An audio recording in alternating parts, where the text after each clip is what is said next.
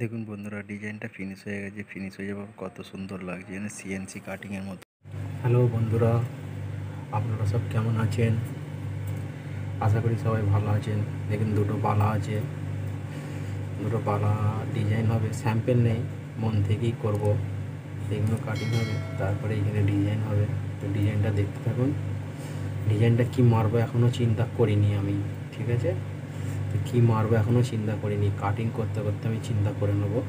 প্রথমে এগুলো শুরু করি। শুরু করার পর কীরকম গেট আপটা লাগছে সেই হিসাবে আমি ডিজাইনটা করব।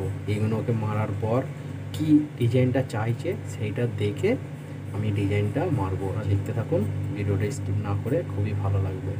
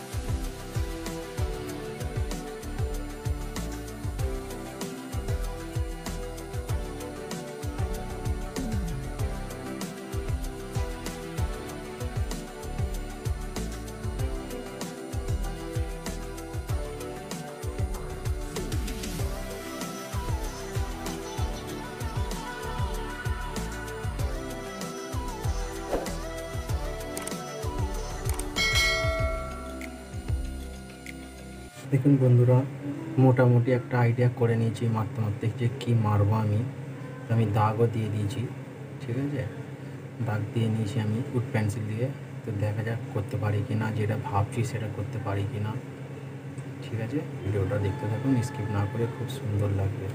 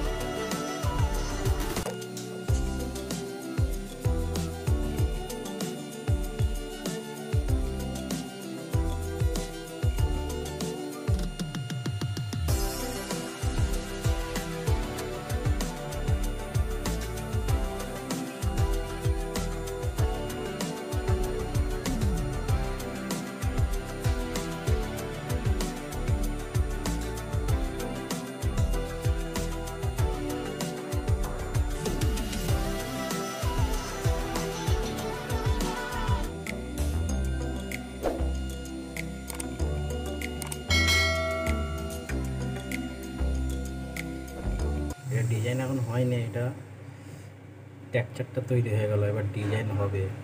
ডিজাইনটা এবার ডট মেরে লাস্টে ফিনিশিংয়ের পরে লুকটা খালি দেখবেন, ঠিক আছে? সেটা দেখুন ফিনিশটা করে